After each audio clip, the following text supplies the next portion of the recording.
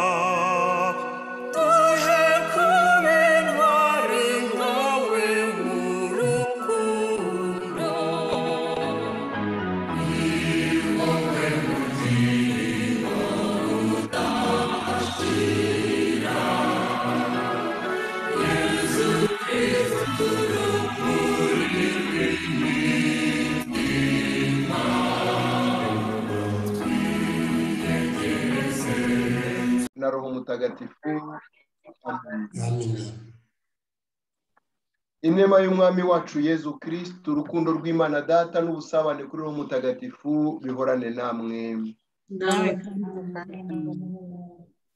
Mbavandimwe uyu munsi wa kane nawo utatworoheye nk'uko bisanzwe nk'uko dusanzwe turi mu rugamba birakomeza kutwereka ko urugamba rwo kwibohora nk'uko mihigo kizito yatubwiye rutarwanwa n'imbunda gusa ahubwo eh, tugomba kurwana no mu myumvire no kwihangana no gukora ibintu byinshi. Twicuze rero ibyaha byacu bitubuza gukora icyiza tugakora ikibi cyangwa se tukarambirwa kuko no kurambirwa ngo biri mu bintu bituma abantu badakora ibyiza eh, umufilozofu umwe witwa eh, Descartes ni we wavuze ngo kwihuta bituma abantu bakora amakosa abanyarwanda bavuga ngo iyihuse yabyaye ibihumye. Twebwe rero twihanganye ariko icyo twari twateguye tukigezeho nubwo n'ibindi bishobora kugira utubazo ariko nyagasani arahari ari budushoboze nemereye imbere y'imana data ushobora byose n'imbere yanyu bavandimwe mu byo natekereje mu byo navuze mu byo nakoze no mu byo nirengagije gutunganya. Kuko ko nacumuye rwose. Nicyo gituma n'inginga mariya mutagatifu mubikira iteka n'abamarayika bose n'abatagatifu bose namwe bavandimwe umusabe imana ishobora byose nyirimpuhwe nyirimbabazi ntitubabarire dukize ibyaha byacu. Yomore ibikomere byo ku mutima n'ibiri mu bwenge no mu myumvire. Maze umunsi umwe izatugeze mu bugingo bw'iteka dusabe nyagasani mana yacu nyir'ubuntu bwahebuje turagusaba tukwinginga ngo wohereze roho mutagatifu azatuvugurure atwigishe kugukunda no kugukundira kandi roho nyine aze asure abanyarwanda aho bari hose adutoze kubahisha izina ryawe. Adutoze gukunda ubumuntu no gukunda abantu nk'uko mama esperance yabitweretse n'abandi banyarwanda bose babaye intwari. Tubisabye twizeye kubihabwa kuko byo twabisabye kubwa Yezu kirisiti umwami wacu. Amen. Kumve ijambo ry'imana ku bariteguye. Isomo rya mbere riri mu banyaroma umutwe wa cumi na kane umurongo wa karindwi kugera kuri cumi na kabiri. Koko rero nta muntu n'umwe muri twe ubere ubereyeho we ubwe. Kandi nta n'umwe upfira we ubwe. Niba turiho tubereyeho nyagasani. Niba kandi dupfuye dupfira nyagasani. Twabaho twapfa turi abanyagasani koko rero ni cyo cyatumye kirisita apfa akazuka. Kwari ukugira ngo abe ari we ugenga abapfuye n'abazima. Wowe rero ni iki gituma ucira umuvandimwe wawe urubanza? Cyangwa ni iki gituma usuzugura umuvandimwe wawe ko twese tuzashyikirizwa urukiko rw'imana? Kuko byanditswe ngo ndahiye ubuzima bwanjye uwo ni nyagasani ubivuga.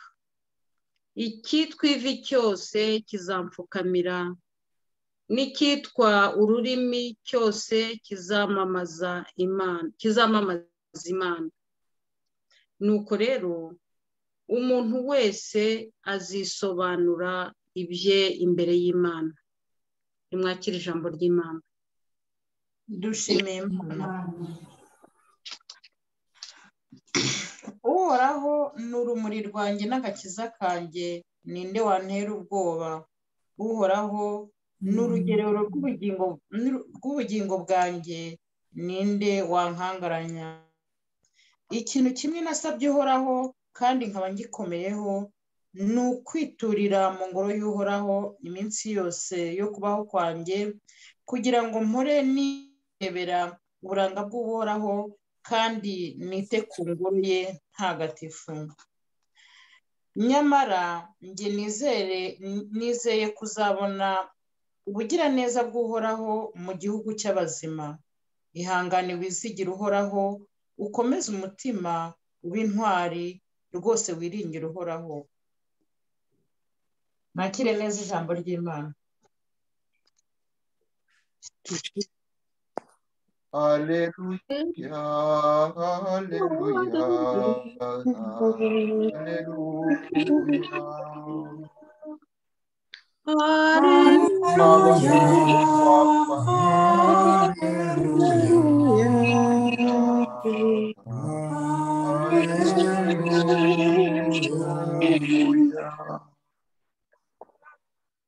amagambo yo mu ivanjiri ntagatifu uko yanditswe na ruka nahabwa ikuzo nyagasani.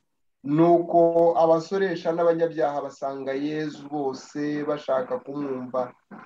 Abafarizayi n'abigishamategeko batangira kwijujuta bavuga bati uyu muntu uko yakira abanyabyaha akanasangira nabo nuko yezu abacira umugani ati ninde muri mwe wagira intama ijana? Imwe muri zo yazimira ntasige za zindi mirongo urwenda n'icyenda ku gasozi. Akajya gushakashaka iyazimiye kugeza igihe ayiboneye. Iyo amaze kuyibona ayiterera ku bitugu yishimye.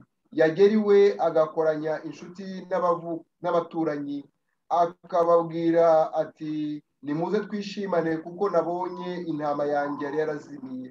Ndababwira ukuri ngo kuko umunyabyaha umwe wisubiyeho azatera ibyishimo mu ijuru birenze iby'intungane mirongo urwenda n'icyenda zidakeneye kwisubiraho cyangwa se ninde mugore wagira ibiceri cumi na kimwe kimwe cyatakara ntacane itara ngo akubure inzu ashakashake kugeza igihe akiboneye iyo amaze kukibona akoranya inshuti n'abaturanyi. Akavuga ati nimuze twishimane kuko nabonye igiceri cyanjye nari naratakaje ndababwiye nguko uko abamarayika b'imana bazishima kubera umunyabyaha umwe wisubiyeho.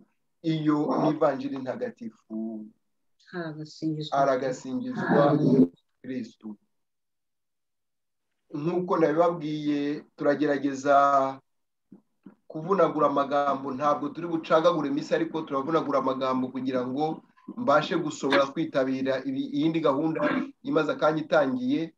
Aya masomo tumaze kumva ndagira ngo nyahuze nihuse n'ubuzima bwacu bwa buri munsi. Ndahera ku ivanjiri ivanjiri yezu kirisita aratwereka ko hari abo twita intungane cyangwa abiyita intungane ariko hari n'intama zazimiye. Hari ikibazo gikomeye cy'intama mirongo urwenda n'icyenda uriya mworozi afite hazimiye imwe. Murebe ariko njye ndakeka ko muri kiliziya uyu munsi muri rusange mirongo cyenda n'icyenda zarigendeye ugasanga abashumba barishimira. Agatama kamwe gasigaye kizana muri kiliziya. Ntabwo tukimenya gusohoka ngo tujye gushaka iyazimiye ngo tujye gutarura iyakomeretse ngo tujye kubwira abantu ubutumwa bw'imana. Ngibyo ibyo papa francisco ahora ari kwibutsa kiliziya ko kiliziya yagombye gusohoka ikajya gushakashaka intama zazimiye. Tugiye nko mu rwanda uyu munsi intama zimeze nk'izitagira umushumba ni nyinshi. Aho abashumba aho kugira ngo bibuke intama bagomba kuvunikira no kuragira bibuka gusa iziza gutanga amaturo. Kiliziya na yo yabaye yabaye nka rwanda roveni ni umusoresha ni umukoresha koro ntabwo ari kiliziya ikorera abaturage. Ibyo ni byo turi gusaba kugira ngo nk'uko kiliziya yacu yaciwe umutwe igakurazo twongere tuyigarurire ubuzima twongere tuyigaruremo ubuzima. Tugomba kubiharanira ntabwo bizizana. Nk'uko yezu yemeye guharanira ukuri akemera kugupfira natwe tugomba kugira abantu baharanira kiliziya. Kiliziya itavanga kiliziya itavangavanga bya bindi bikira mariya yatubwiye ikibazo ati mwitonde kuko ukwemera n'ubuhakanyi bizazana. Akantu ka kabiri ngira ngo turebe ni uriya mugore wishimiye igiceri kimwe yari yabuze agatumira abantu akabasengerera agatanga byinshi kurenzaho. Nguko uko kiliziya yagombye kuzishima ikemera igatanga byinshi birenze ibyo yinjizaga kugira ngo yishimire yuko abana bayo bongeye kubaho bahuje umutima bahujwe n'imana bahujwe n'ukwemera bahujwe n'ivanjiri badahujwe n'ibishingiye ku moko ku madini ku turere cyangwa se ku ishyaka rimwe rukumbi rindi kizito tubwira ko ari ishyaka ki- kirimbuzi kuko rishaka kurimbura abantu bose. Isomo rero rya mbere ryadushyize muri muri uwo munyenga mwiza w'imana ishaka kongera kuduza itubwira iti mwabaho mwapfa mubereho nyagasani. Ntimutinye ntimugire ubwoba. Bimwe matata ahora atubwira ngo ubwoba butoba ubwonko. Abafite ubwoba ubwonko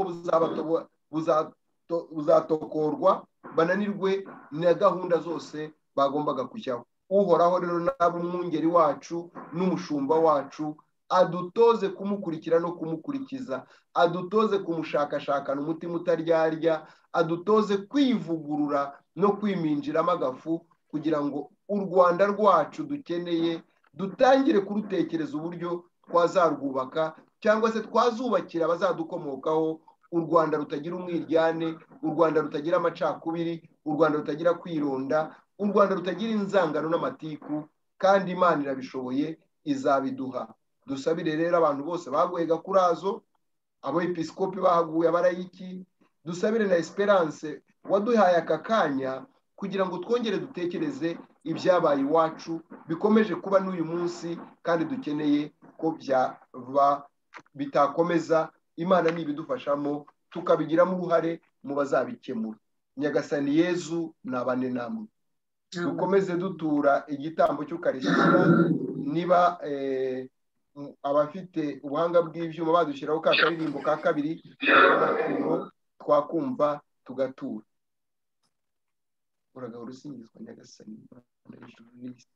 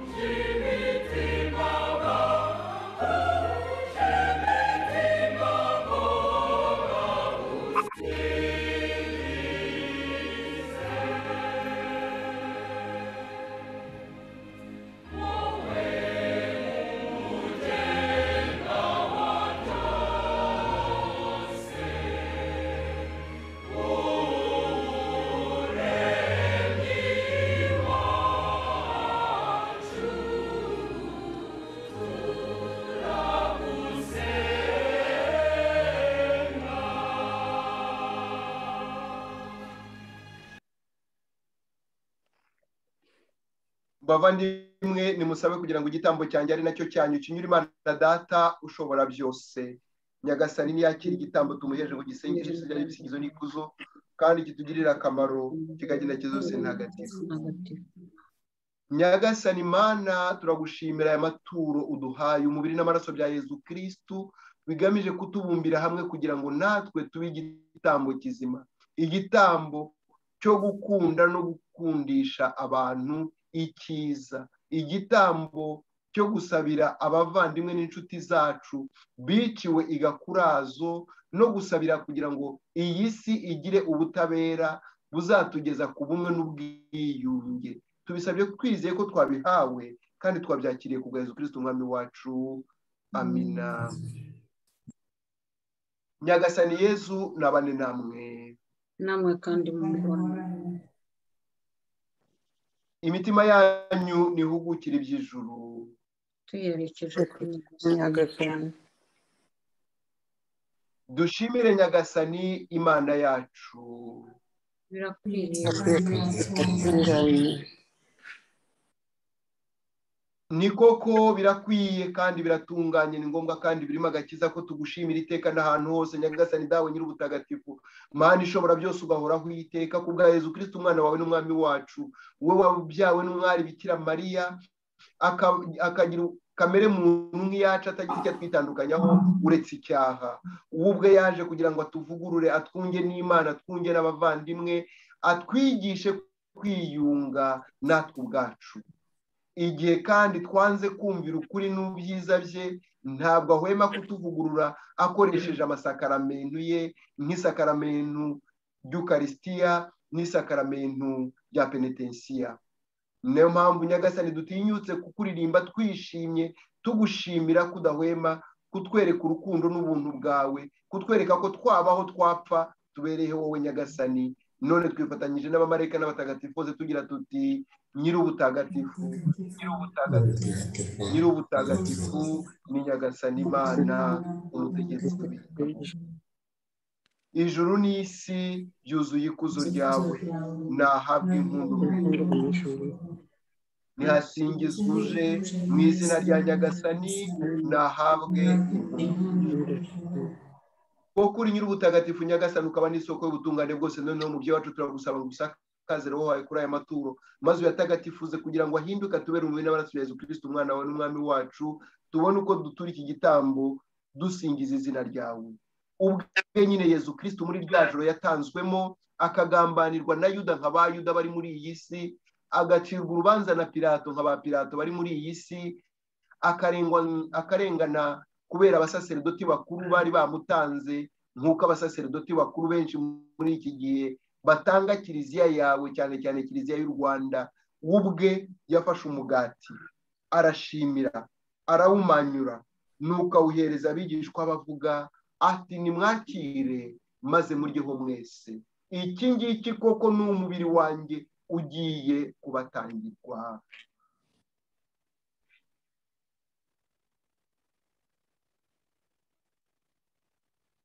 Nk'uko yari amaze kubigenza barangije kurya afata inkongoro none arashimira nuko ahereza abigishwa bavuga ati nimwakire maze mumuho mwese. Iyi ngiyi koko ni inkongoro y'amaraso yanjye y'isezerano rishya kandi rizahoraho iteka agiye kumenerwa mwebwe n'abandi bose kugira ngo mugirwe imbabazi z'ibyaha. Ibi mujye mubikora bibe urwibutso rwanjye.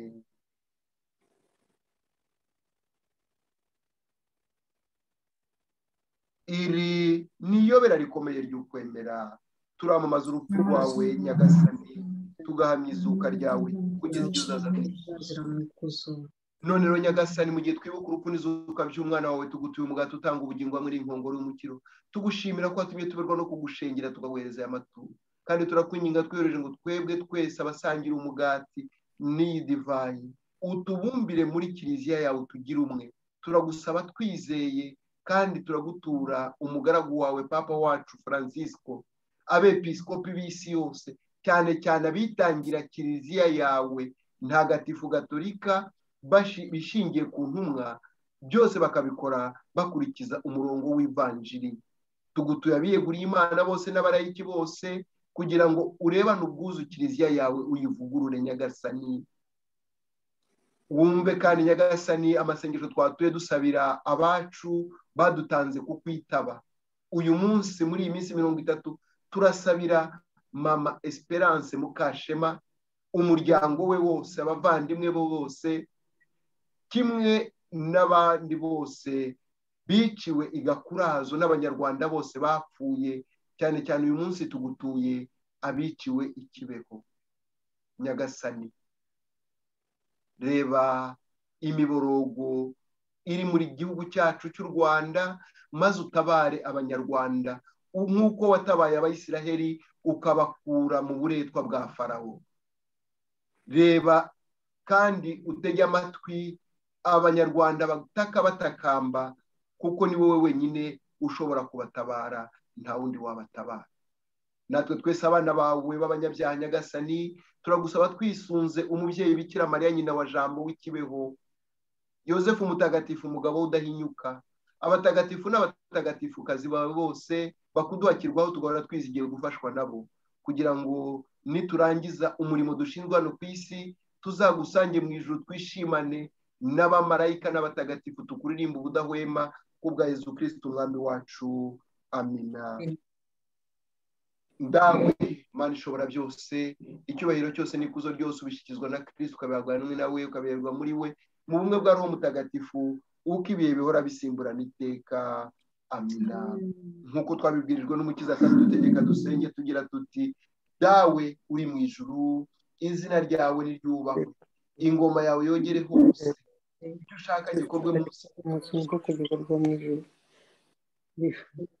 ifunguro ridutungure duhe none tubabarire ibicumuro byacu nk'uko natwe tubabarira abaducumuye ntudutererane mu bitwoshya ahubwo dukize icyago nyagasani turakwingiza dukize ibyago byose ibihe turi mu bisakazemo amahoro impuhwe zawe ziturengere dukize icyaha cyose turinde n'amakuba yose mu gihe tugitegereje amizero mahire no kuza k'umukiza wacu yezu kirisitu amina. Kuko ubwami n'ububasha n'ikuzo ari ibyawe nyagasani iteka ryose. Amina. Nyagasani yezu kirisito wabwiye intumwa zawe uti mbasigiye amurumba aya amahoro yanjye ntibite ku byaha byacu ahubwo uhite kwemera kwa kiliziya yawe maze ku bushake bwawe amahoro kandi bumbire mu bumwe wowe ubaho ugategeka iteka ryose. Amina ntama w'imana ukiza ibyaha by'abantu tugirira imbabazi. Ntama w'imana ukiza ibyaha by'abantu tugirira imbabazi. Ntama w'imana ukiza ibyaha by'abantu yezu duha amahoro. Turahirwa twebwe twese abatumiwe ngo dusangire ku meza ya nyagasani duhabwe yezu kirisiti uburoho mu mitima yacu naho turi kure nyagasani yezu adusangeyo. Nyagasani yezu dore ntama w'imana dukiza ibyaha by'abantu. Nyagasani si nkwe kwakwinjira mu mutima wanjye ariko vuga ijambo rimwe gusa mbone gukira umubiri n'amaraso bituragire bizatugeze mu bugingo bw'iteka. Amen.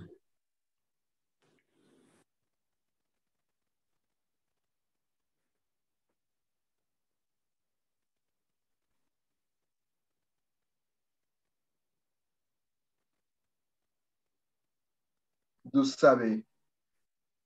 Mani uraho kandi ushobora byose tugushimiye umubiri n'amaraso ya yezu kirisitu wadutungije n'ijambo rye rivugurura ubuzima bwacu. Genderera abahuriye bose muri iri tsinda rya gakurazo kugira ngo tubone ko igihe cyose tuzibagirwa gakurazo ni nko kwambarira inkweto ku bisebe ni nko kwambarira inkweto ku mabuye. Gakurazo n'izaduha imbaraga zo kuvugurura kiliziya yacu no kuvugurura ibyari byaroramye kandi igihe cyose dutekerezaga kuri azo tujye dutekereza ko kiliziya yawe ikeneye ubuvunyi bwawe. Wowe ubaho ugategeka iteka ryose. Amina. Ndakuramutsa mariya. Wuje muharana n'imana. Wahebuje abagore bose umugisha na yezu umwana wabyara asingizwa mariya mutagatifu umubyeyi w'imana urabidusabira tw'abanyabyaha ubu n'igihe tuzapfira. Amina nyagasani yezu nabane namwe. Namwe kandi ushobora byose nabaha umugisha abarinda icyaha n'ikibi cyose ku izina ry'imana data na mwana na roho mutagatifu. Amina. Dukomeze twigumire mu mahoro ya yezu kirisitu dushimiye imana. Turacyafite utunota tubiri twakumva akaririmbo dusoza kandi mbaye mbasezeyeho kuko ubwo mise ninjira mu yindi nama. Muratumiwe kuwa gatandatu mu birori by'umucuti wacu matatu bye bye. Bye. mwakumva ako karirimbo mwakumva akaririmbo ubwo jewe ni- nimutambona nuko ngiye mu yindi nama. Y'umugoroba mwiza